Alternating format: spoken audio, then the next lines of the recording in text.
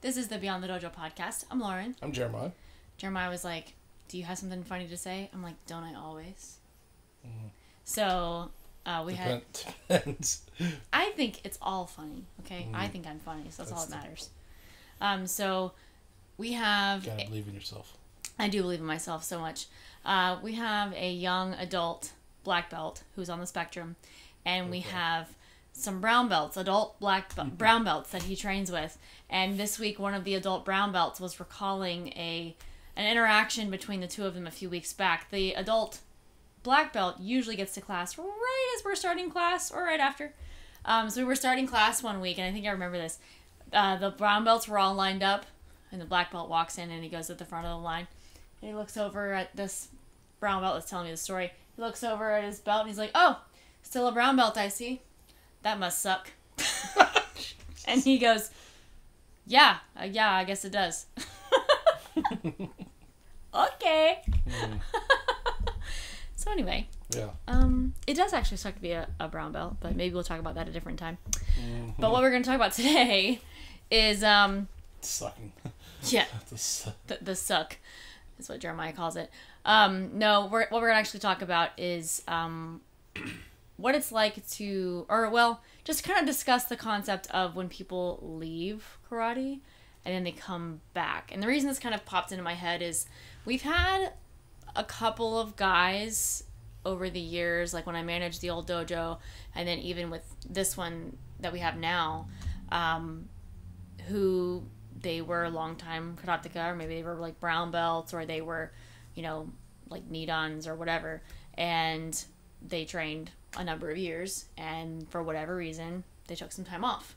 Um, like we have um, someone that uh, is kind of related to one of our black belts who came back briefly, um, or well, who who I trained with when I was a kid, and who came back to our dojo once, like one day, and um, anyway, that was just that was just what made me think about it was thinking about that scenario. So anyway, um, so Jeremiah actually took some time off from karate.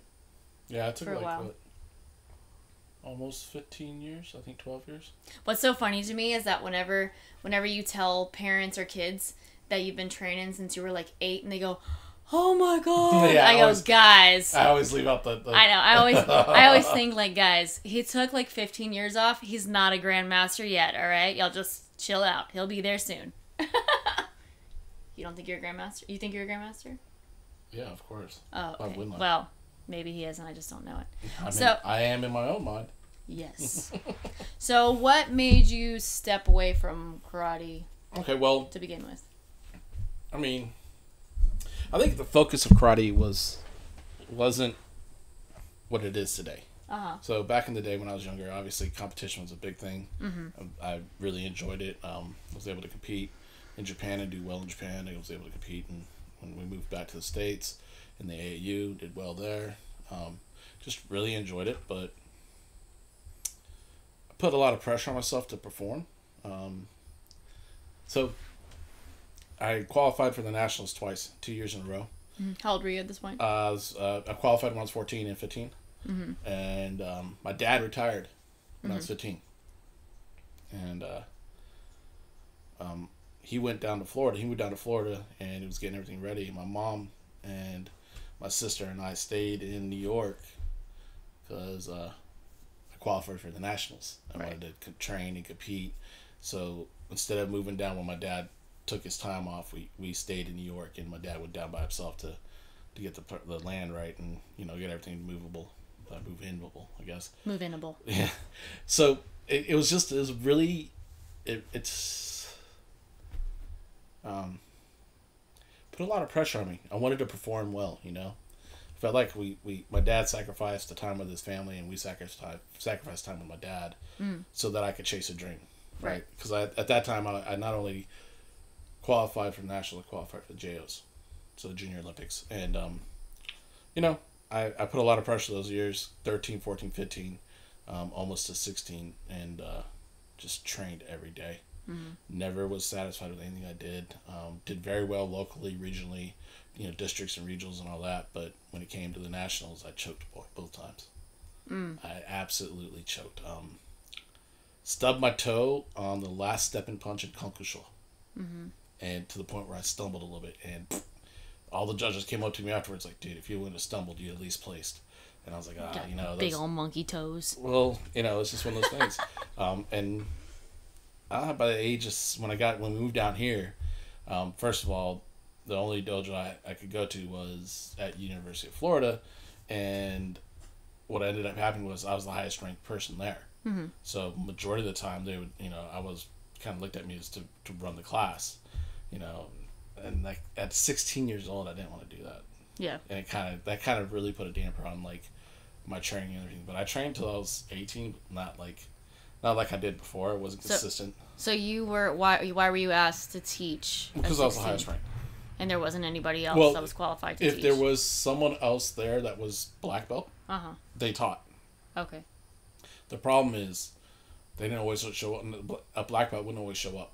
So that the way that u- university clubs work is like whoever is the highest ranked, like No, you're the one um, that teaches, or no, they no. designate somebody. At that at that club at the UF club, there was designated senseis and stuff like that. But they were going through a transition from the guy that was teaching that was not a student. Mm-hmm. Um, he got a different job and was on the road a lot more. And he just it. I mean, he had to make money. Yeah. I can respect that. But the Yeah. guys that that were stepping up behind him, um, they were they were in the engineering college or I'm sorry, they were in their their colleges and, and professional like grade and they just didn't have the time.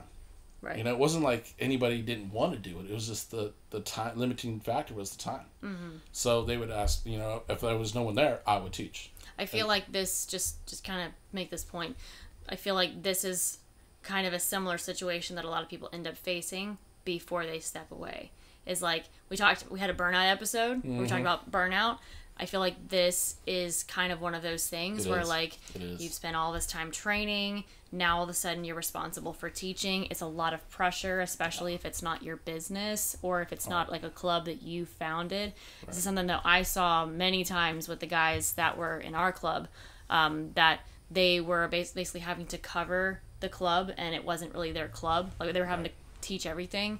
So just pointing this out, like this is this happens Yeah, a lot. it's not unique. Yeah. Um, and then the other added factor was, you know, I'm a 16 year old high school kid Right. telling college kids what to do. Yeah. And, you know, some of those dudes, you know, it, some of those brown belts thought that they that I wasn't worth my position, I guess. Okay. So it you know it back in the day that's just the way it was. Anyways, Mm-hmm. it was egos and rah rah rah. I kind of got burned out on that, Mm-hmm. and I I missed my social life. I missed all these things that um I thought we were going to be so awesome. Mm-hmm. I think they call it a, like a it's a it's a syndrome like you you you it's the fear of missing FOMO. out, huh? FOMO. Yeah, where you you're fear of missing out, right? Mm-hmm. And that kind of drove drove me hardcore from in my twenties, Mm, okay. and I you know just So you stepped away at like 16. I stepped away at 18. I, Oh, s- I okay. still still went and it's funny. I went to the club more when I wasn't a student at UF than I did when I was a student. When was that? Oh, before you were a student at UF. Yeah. Okay, yeah. gotcha. So in those first two years, I was there pretty consistently. So it's crazy. So you were able to train there even though you weren't a UF student. yeah. So here's the cool thing. that, that was. The way they where they trained um, Mm-hmm. was the old ten, um, the old female teachers at teachers college, Mm-hmm. and they had a, a female gym there that used to be the fe- oh, female only gym. Mm-hmm. Um, but but it was just a wooden floor, no AC. They had one little bathroom on the bottom floor. Right.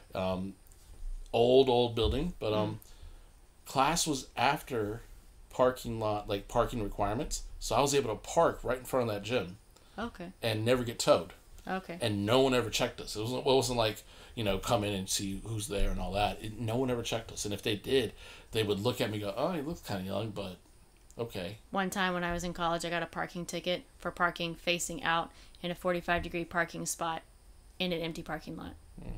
Just saying. Yeah. well sucks to be you Yeah, it did. I was pretty pissed. I mean, mad. yeah Anyway. yeah um so that's that's my story Mm-hmm. and basically got tired of the whole thing and walked away um You never Fast- trained at all during that time that you were off? Not at the dojo. Hmm. I, I never went back to that dojo. Um, I, I the last day I was at that dojo, um, some dude came up and was was teaching class, and it was like the first time anybody's seen him there, and he was demonstrating on something and used me as a kid and grabbed my gi and pulled so hard that he ripped it, like he ripped my gi open. And he goes, eh. it was kind of shrugs it off at me, and I'm just like, Mm-hmm. okay. And I just, you know, after that, it was like, yeah, I'm done with this place. I'm done with all this. Yeah. I'm done with that attitude. I'm done with everything. So I just walked away. And you didn't bother looking for another place to train. Nah, not till I was 33. Okay. So a lot later down the road. Yeah, a lot later down the road. I mean, 15 years literally. Yeah. Um, So like, what I'm saying is like, even that time off, you never had any home training or anything. I like that? trained. I, I, so I never stopped doing karate. I just stopped doing karate like in the official sense, like and go to a class and train like that. But I would, man, I was constantly like, if I was home alone, I would just do kihon up and down the floor. I would go through the katas because I'd be afraid I forgot them. Mm-hmm. And it wasn't like I was improving my technique. It wasn't like you know I was even maintaining. It was just something Kind of would, remembering. just trying to remember things and not forget them. So it wasn't like a serious training, but Right. I did stay in the mindset. So- and, Sorry. Go ahead.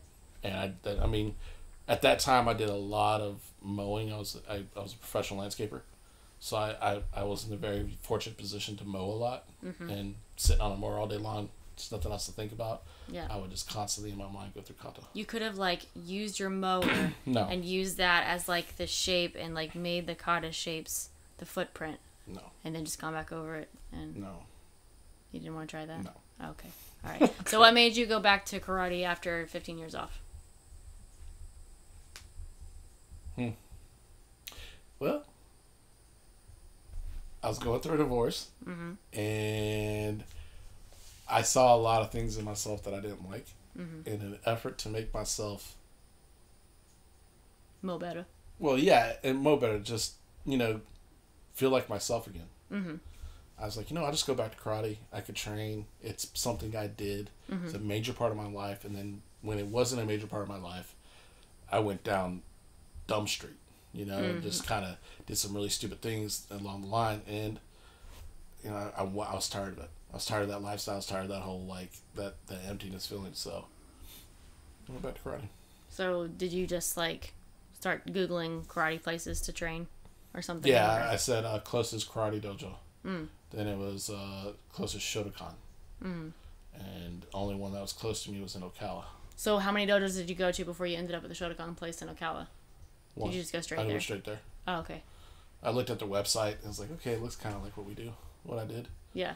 you know. And uh, So you were able to track one down. well, well, yeah, that and, and I was pretty impressed because on the website it proclaimed the head instructor as a sixth dan, and when I quit training, Mm-hmm.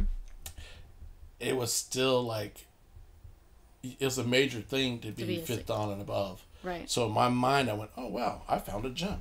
Yeah, and you were a nidan whenever you quit. Oh yeah, I quit when I was a nidan. Yeah. Yeah. So that when I did that, I saw that. I was like, oh, okay, I'll just go train with them. Mm. I figured it'd be somewhat of people like what I did. What rank was he? Huh? What rank was he? Was he a six dan? Um, A pretend six dan. this is why you I hate I higher never level seen a ranks. certificate, or I've never Self-proclaimed, self-proclaimed six dan. um, I never met. He never. He wasn't organized. Black part of an belt Hall of Fame six dan. He was. He. They weren't part of an organization. Mm. Um, and mom gave him there was on. no outside influence. Mm. Um, and there was no kind of like verification of his dan ranking. Actually, Down what I basket weaving. Yeah. when I went there, I brought my Nidan certificate with me. Mm. And was like, do I need to show you my Nidan? Do I, do I need to show you my certificate? He goes, oh, no, you're good. Mm. And I was like, okay, that's a little different. Yeah. And I was wondering if he, you know, wanted to, sh- I guess he was trying to step away from that or avoid that. Gotcha. In the long run, he wasn't a six dan. All right. Baby break. Baby break. Okay. So now we're back. Mm. Uh, so once you got started back to training, Yeah.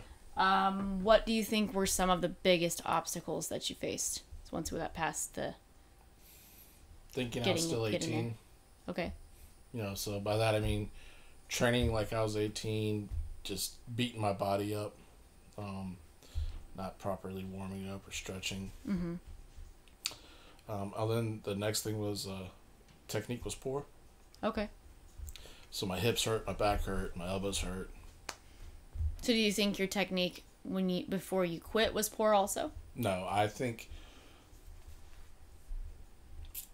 I think I had way better technique when I was 18. Mm-hmm. It was just you know years and years of a doing labor as, as work, Okay. um, and just constantly muscling things through. I think it just bled over. I felt like I had good karate when I was 18. Gotcha.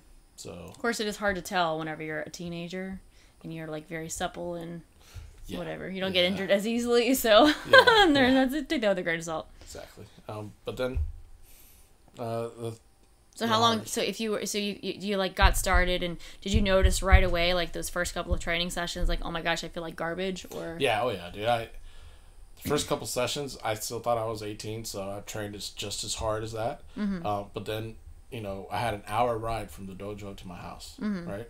And by the time I got to my house, I mm-hmm. would feel like a ninety-year-old old man. My back would just crink up, and I, my muscles would tighten up, and I mm-hmm. just I could barely stand up afterwards. yeah And it took me like, gosh, almost six six months. to Kind of like get feel normal. was there any point in that six months that you were like this isn't worth it No, fortunately, no. Mm, okay do you see uh, how other people would maybe think that though Oh, absolutely. Oh, absolutely. Um, the reason why I say that was it was getting routine, it was getting mundane. okay You know what I mean? Uh, but one of the black belts there in Okina- Ocala, um, Jack Fullerton, he wasn't a black belt at the time, he was a brown belt. Um, he's like, hey man, I'm going to a seminar to Steve Ubl up in Pensacola. mm-hmm. I was like, yeah. He's like, man, it's gonna be fun if you want to come. Mm-hmm. And I, I was like, I have nothing else to do. How long had you been training at that point like Uh, nine six months? months, six seven months. okay Um, and then that just blew me away. Yeah. s- Work uh, training with Steve or training under Steve, it was like yeah, we did hard training. Like that's hard training to me. Like three days seminar, and honestly, my mind hurt more than my body. yes You know what I mean? Like Uh. it- that that Ubla effect. You know, it hit me hard. Mm. Um, but it changed everything about how I looked at karate right instead of being this thing of manifestation of like power and ego, Mm-hmm. it turned into like I want to be efficient. I want to have a long lasting karate career. Mm-hmm. I want this to be beneficial to me. Right. So it's interesting that you say that because we have had interaction with lots of people who've come into our dojo who have been either from other dojos and they never stopped training and they're just coming to train with us or they took some time off and they're coming in to train with us and it's a different experience training with us than maybe what they were used to previously um, and it's kind of one of those like you either continue on down the same path and you just enjoy that and we're just kind of there to facilitate training or you kind of drink kool-aid and you're thinking about what you're doing a little bit Yeah. differently Yeah. Um. so do you think if you hadn't hadn't gone to that seminar and you never had that crossing of paths with steve do you think you would have continued training Until I had a major injury. okay Until I had a major injury, and that would have probably been the, the icing on the cake. I'd have probably quit. Yeah. Again. i think nail in the coffin would be a better No, icing on the cake. Depends you just on pre- you you look at just prefer the icing. I'm, dude, I'm kind of hungry still. to be honest, I just ate, but I'm like, man, I could, I could go for i some could go for some icing So, so okay so so basically having that icing on the cake. Yeah, having the icing. But you think if you'd had a major injury, you probably just wouldn't have wouldn't have bothered. No. Gotcha. That No, makes sense. I wouldn't. I wouldn't have pushed myself. I, I would see no reason to. Mm-hmm. Um, but good things, blessings are, are there for a reason. Yeah. Yeah. And, I, and could you imagine that? Like how my life would be different. Yeah. Wow. Yeah. Just wow. I was I was talking to somebody um yesterday who said that they read this book about I don't even know what it's called, but with a girl I think she died or something and she was introduced to this library of like all of these different books that showed what her life would have been if just one small thing had been different and there were all these different scenarios anyway just made me think of that i just heard that yesterday but um anyway it's interesting and the reason I, i wanted us to talk about Yeah. Well, yeah. about about your background is because this is like this is like a, a cycle or this is a very thing. typical thing Yeah, that people go through with leaving karate and then trying to come back Yeah. Well, for men, I think it's it's a thing if you've done karate for a long time, you got to a certain level, Yeah. and the expectation in your mind is that you're at that level, Mm-hmm. and to come back and not be there, Yeah. or come back and train as if you were, and then hurt yourself almost immediately. Yeah. It's a thing. It's like people don't want to deal with that.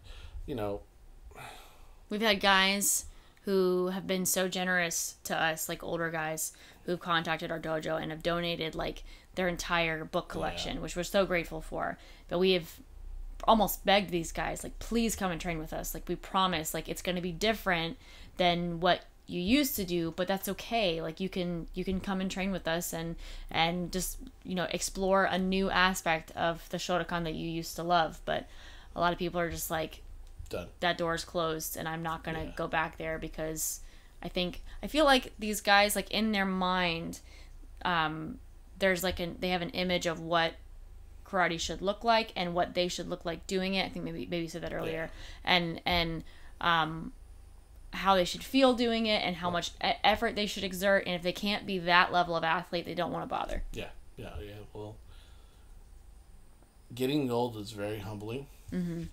And some guys just don't want to. Instead of facing it, they just rather act like it doesn't happen, Mm. and don't do anything to kind of expose the changes, right? Right. So, um, so basically, like, so you mean like if you don't well, go back this. and experience Well, uh, it's this.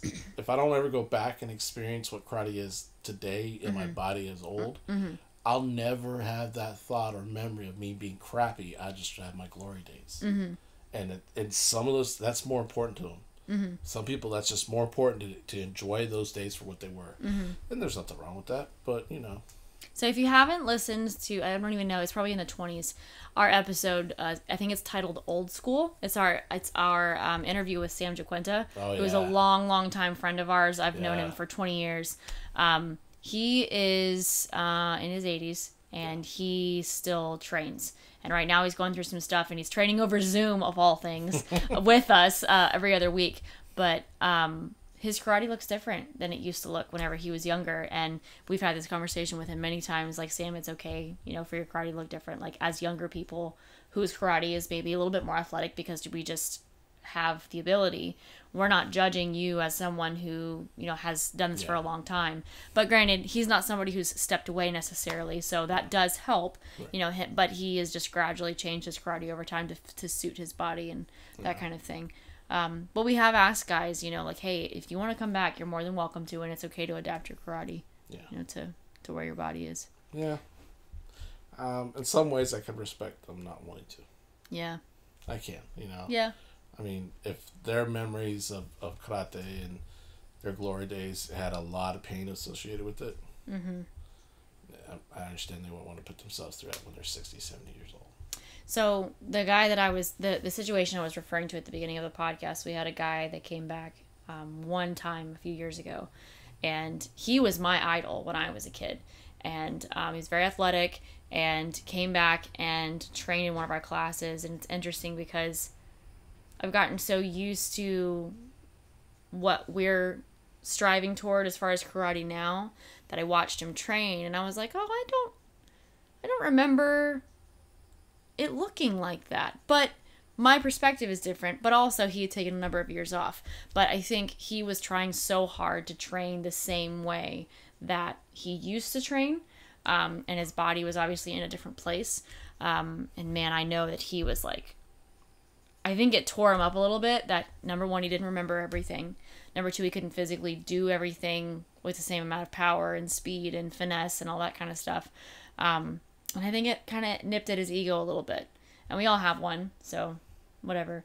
But um, we were trying to encourage him, like, hey, dude, it's okay. Like, you can come back and, you know, whatever. But um, he didn't. So, um, what what would you say are like some very specific things? Like, if we have someone, which has happened many times, we have people come back to training who used to do Shotokan elsewhere and they start training with us maybe 10, 15 years, 20 years after the fact. What are some specific things that we usually introduce that maybe are is different than the way they used to train? I can think of a few things. Well, You want me to get put you on started? Spot. I would say, Okay. um, what I've experienced so far is we do a lot more application, Okay. and the way we do application is different. Right. So um, that would be the number one, and then the secondly would be our approach is like you just don't show up in training anymore. You kind of got to know your body, you got to know your limitations, and respect what's going on. Because if you're injured, you don't want to come back anyways. Right. So very specifically, like looking at structural alignment, Right. we'll typically like a lot of the stances that a lot of us used to do were maybe a little bit more, more yeah, out. more square and and a big strain on the knees and the hips versus what we're doing now is a lot more like um, the the ankle and the knee and the hip are in line either you know in a straight line or maybe in a pyramid shape but that that line is not being bowed you know so you're not Right. you're not straining the joints in a direction the joints are And not supposed to and I try go to create outward torsion right. and inward tension excessively right. in such a way that you ruin your structure. right. And then we're also you know you you're held accountable for things like the path of the arm and the elbow and the hand and the and the shoulder like all of that kind of stuff. And even the the final position you know making sure that you're not over over torquing any of those things. You know in in kokutsudachi and back stance people tend to over rotate to have this very like open position with their hips and they're actually putting a lot of strain on that front hip um, whenever they do that so usually we're looking at the structure and we're like giving them some wiggle room and some relief. Um, and we have seen, for the most part, people tend to they're confused a little bit, but it does seem to go. I think they they tend to be able to last a little bit longer without injury. Yeah.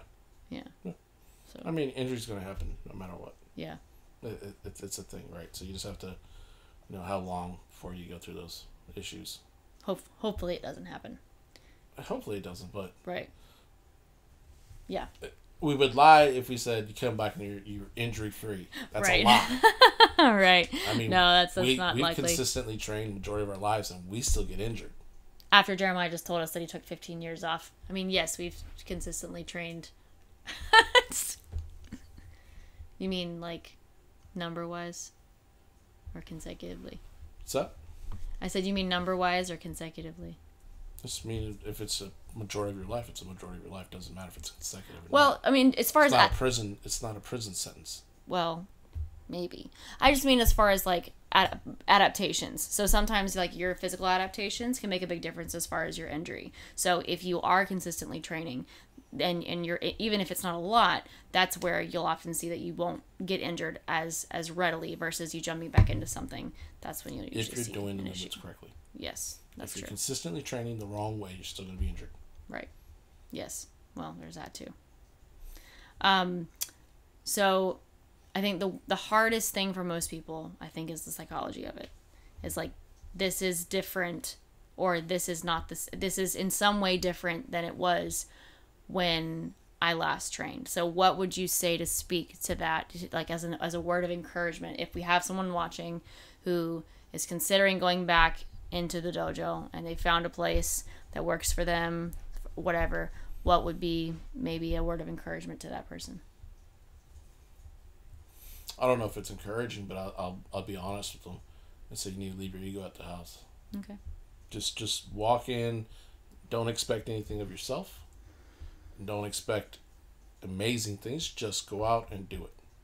Right. right? Um, and don't don't overdo it. Don't be like I gotta punch harder. Oh, I feel great. I gotta punch harder. You know, like I said the other the other day, I was like, that side snap kick felt great, so I went harder and faster until I felt something not feel great. Mm-hmm. You know, and that that's ego to me. That's not like that's not everybody. We said it before. Everybody has ego. You just kind of put your ego in check. Be like, hey, you know, Yeah. um, if you could do that, you're you're well on your way. I think what's crazy is like martial arts. All martial arts has this unique ability to teach you humility. Right. Like it, it you know you're you're not invincible, right? Mm-hmm. So why do we ever go? Why do we go to the dojo with the idea that we are? Right. You know, it's like it's crazy to me. So I I would encourage them just to, you know, check your ego. yeah. So. And and just accept that this is just different. May not be a right or wrong It's thing. It's not better. It's not worse. It's just different. Now you can make that judgment call down the road, but when you first encounter, you know, Yeah. whenever you first encounter something new, a new dojo or a new teacher or a new style, maybe, maybe just try to look at it like this is different. Let me try this different thing rather than looking at it as right and wrong. I Yeah. think that would be probably mo- most helpful to your It, point of view.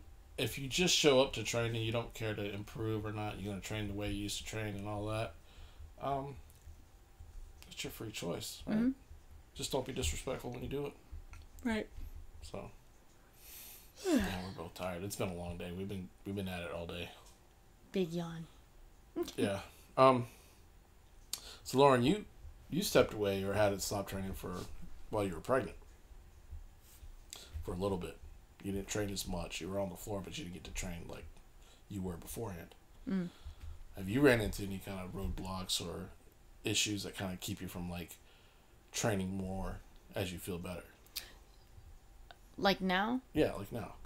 Um, well, I mean, I I didn't I haven't stepped away completely at any given time except for right after delivery. And I know that we talked about this in the in the training through pregnancy episode, but um, I think I'm not really at that like completely back point yet because I'm still like I'm I'm able to train basically like once a week.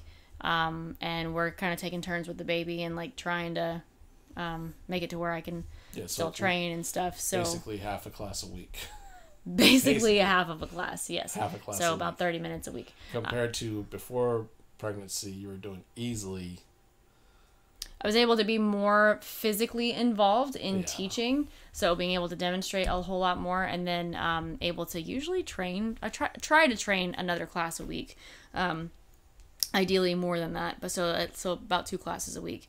But um, what what, were your, what was your question? was is it do you feel like there's any roadblocks because of the, the way your training has changed from the pregnancy till now i mean it's obvious beforehand the amount of the volume you were putting in compared to now it's completely different. Um, are you seeing yourself catching yourself going man i wish I, this come back quicker or man my kick you know you know what i mean? Like Um, are you getting on um, are you being critical to yourself because the things you can't do yet? So only the frequency I think is the thing that I get that I'm hard on myself on. One thing I do notice is that um, especially with continuing to think about karate and, and still being somewhat like active but not to the same degree. Sometimes taking a break in my case has been a good thing because I come back and, and things make a little bit more sense. Um, I don't think I am muscularly quite as coordinated and I do feel a little bit of weakness.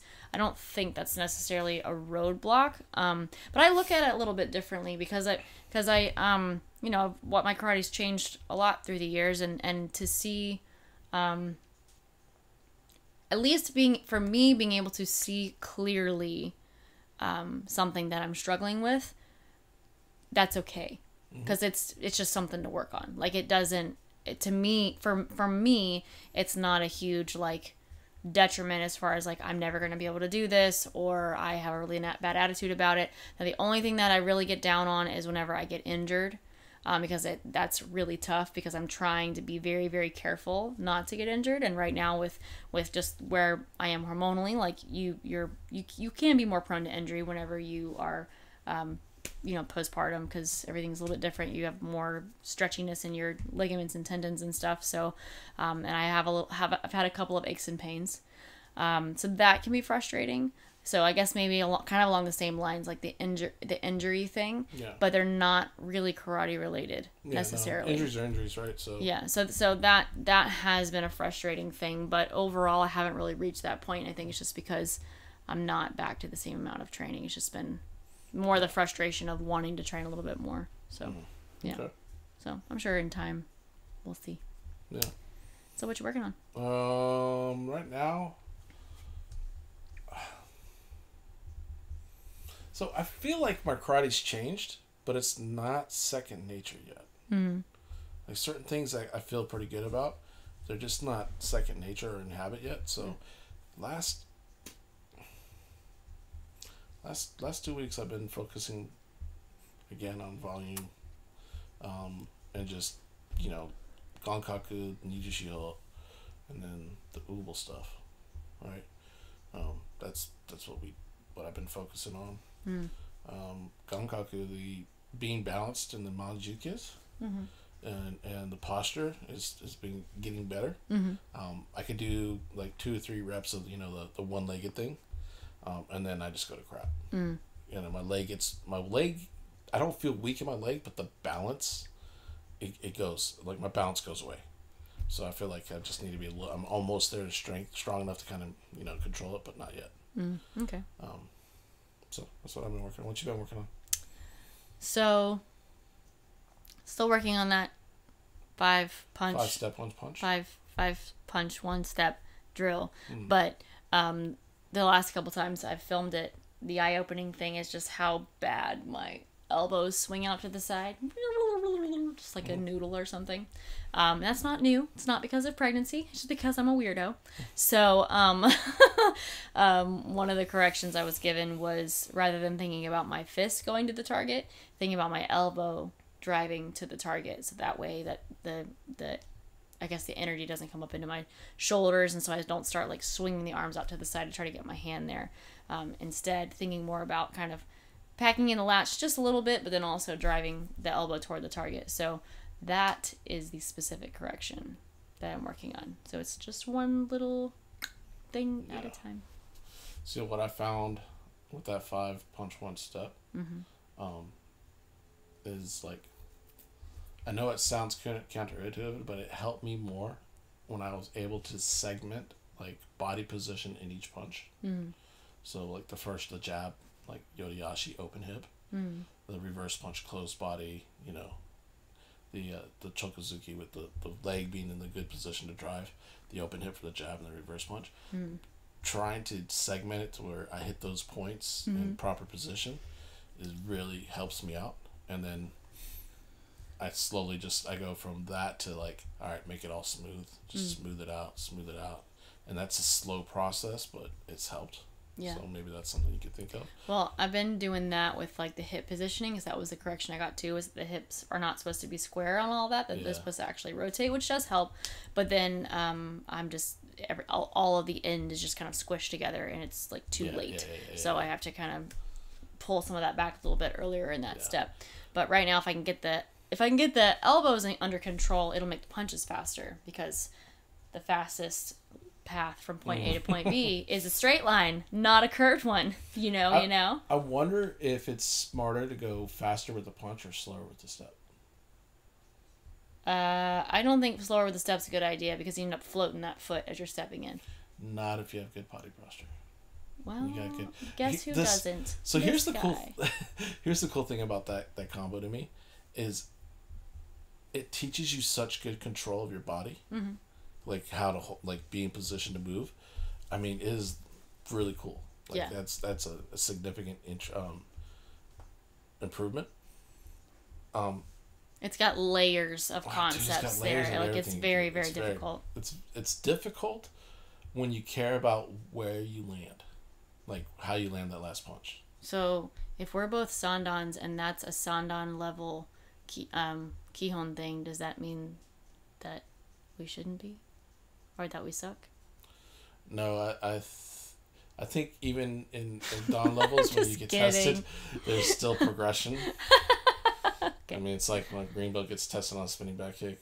Are we looking for the perfect standing back kick? Are we looking for the proper? We're just looking for them to not have a heart attack when we ask them to do it. Is We're just looking that they don't fall on their face, and if they do fall on their face, we have it on tape. I don't actually record the tests, so No, you don't. We should. Parents do. okay. We could always get them to sell out to kids. All right. Well, this is fun.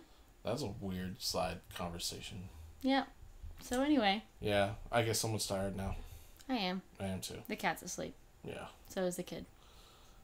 Okay. Thanks. Bye. Bye.